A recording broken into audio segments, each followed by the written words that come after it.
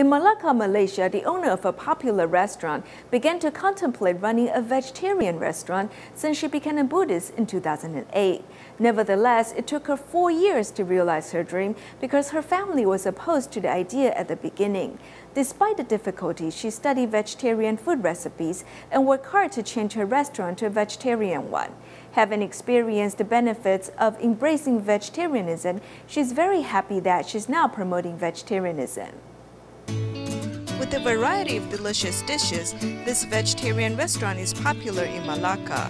In fact, this restaurant sold me dishes for 15 years before its transformation. I like to eat vegetarian pig trotters in vinegar because the taste is similar to that cooked by my mother. The black beans and vinegar are also very tasty.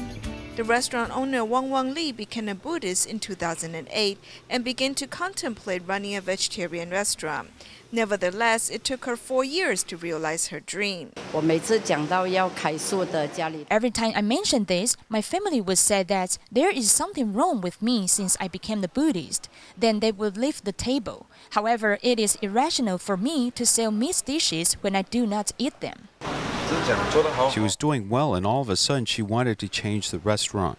After all, she had been doing this for more than 10 years.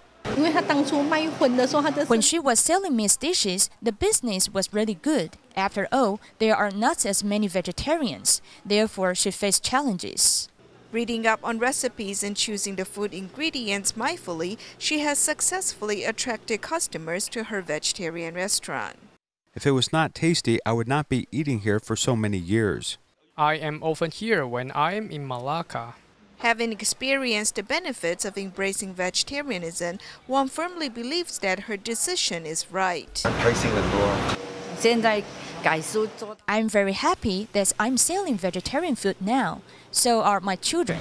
We've become more harmonious.